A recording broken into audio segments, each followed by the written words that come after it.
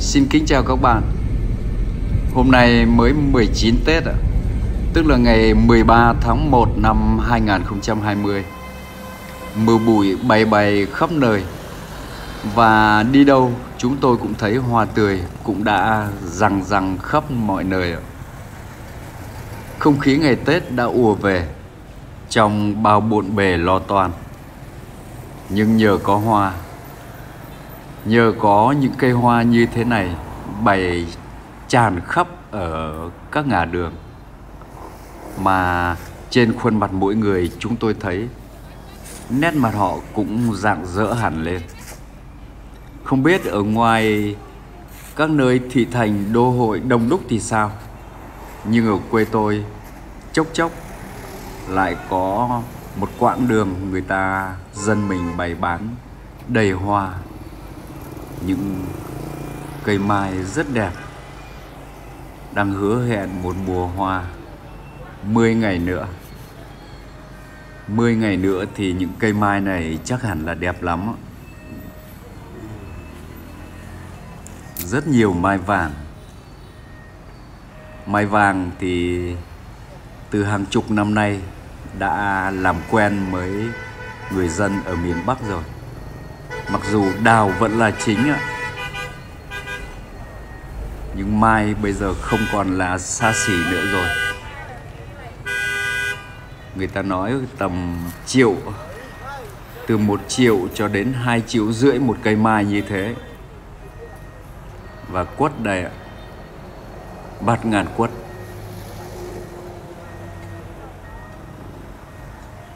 Quất bây giờ người ta tạo thế rất đẹp các bạn ạ. Những cây như thế này đẹp lắm thì cũng chỉ hai triệu rưỡi ạ. Bán ngàn quất. Tầm 2 triệu rưỡi 2 triệu 6 là có một cây quất khá ưng ý rồi.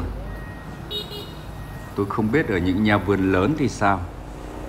Nhưng ở quê tôi như thế này là đẹp lắm rồi đấy ạ. Họ đặt trên những chậu gốm nhìn rất bắt mắt. Còn bưởi. Bưởi cảnh bưởi cảnh thì giá hơi cao. Người ta đang nói với tôi là giá tầm 2 triệu rưỡi. Trung bình là 2 triệu đến 2 triệu rưỡi một cây. Hầu hết tất cả đều được trồng trên chậu gốm. Nòm rất đẹp. Nó vừa dân dã vừa có nét cổ kính.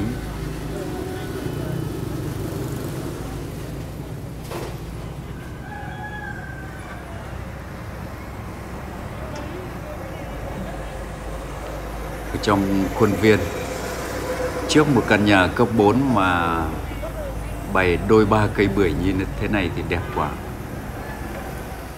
Mà nếu tôi được sở hữu thì tôi vẫn cứ để những túi lưới như thế này. Túi lưới màu vàng, non cũng đẹp.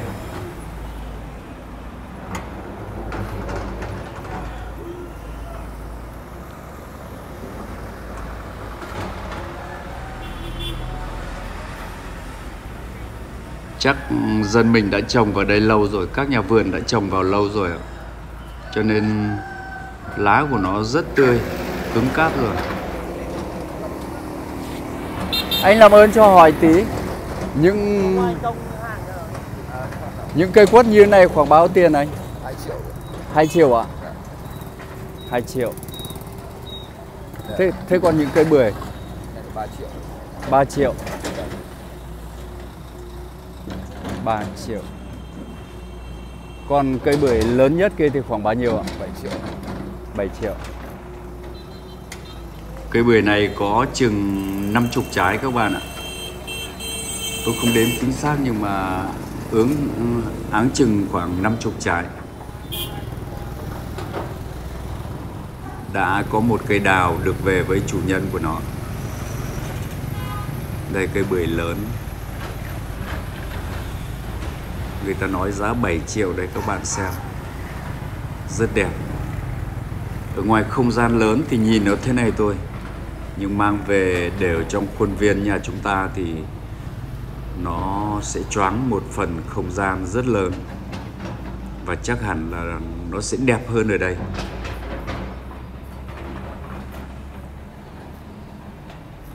Cả những loại cây quất rất nhỏ, rất xinh xắn thế này cũng có.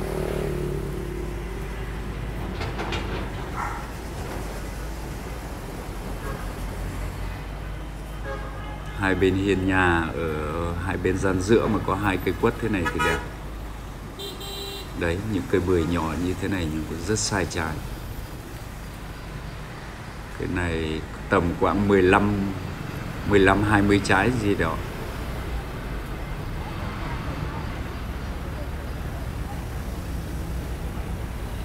Cái bưởi này đến,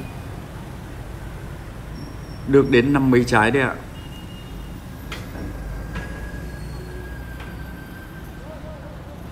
Đẹp quá. Giá hơi cao tôi không không không dám mơ cái những cái cây bưởi lớn thế này. Mặc dù ở trong vườn nhà tôi cũng có nhiều cây bưởi còn hãy chịu chi quả nhưng mà vẫn thích được sở hữu một hai cây bưởi thế này để ngoài sân cây này bán bao nhiêu mày hai triệu rưỡi. Đẹp quá cây này tuyệt vời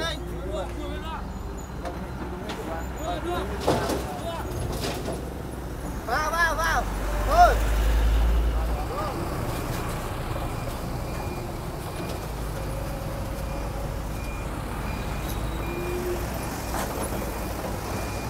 Một cây quất có cái cành la đà rất ưng ý.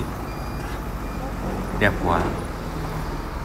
Hai triệu rưỡi cũng xứng đáng. Tất nhiên nếu tôi mua thì tôi còn kỳ kèo được một chút nữa.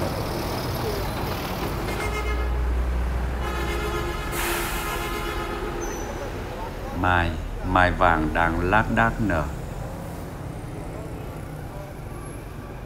Nhưng tôi thích đến ngày 30 thì những cây mai cũng chỉ lác đác hoa thế này thôi. Chứ tôi không thích nó nở bung hết tất cả nở bung hết phải khoảng mùng 3, mùng 5 Tết. Thì mai đào hãy nở bung. Tôi thích kiểu như thế. Nhưng nhiều bạn cũng thích nó bờ nở bung hết cả phải không ạ? Đấy là cái ý thích của nhiều người. Đấy, dọc đường các bạn xem, mai trắng, mai vàng. Rất nhiều. Quất. Quất cũng rất nhiều. Nhưng giá cũng không hề rẻ. Đào thì có vẻ nở hơi sớm các bạn ạ. Đào nở hơi sớm một chút và lại ít đào phai. Tôi thì chỉ thích đào phai thôi đào phai cánh kép lá dày bông to. Bát ngàn quất. Và những cái xe hàng từ khắp nơi vẫn đổ về các ngã đường ở ngoại thành Hà Nội.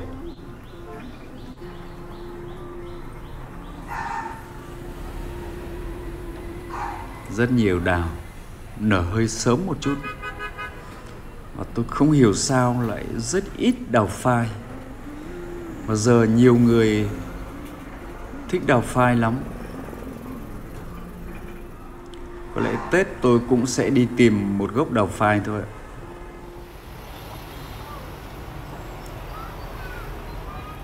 Các bạn xem lại mấy cái gốc mai ban đầu đấy ạ. Và những cây quất.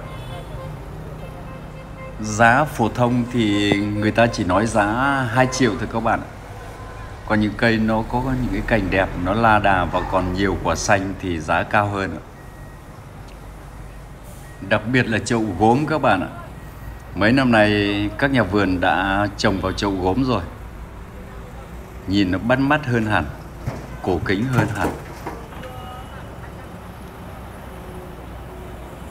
Phần lớn những cây đã được trồng vào những cái chậu gốm này là lá của nó rất cứng cáp rất tươi tắn rồi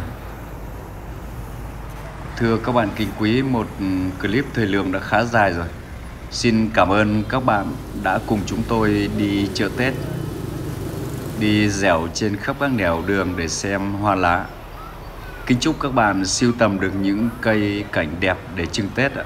Kính chào các bạn.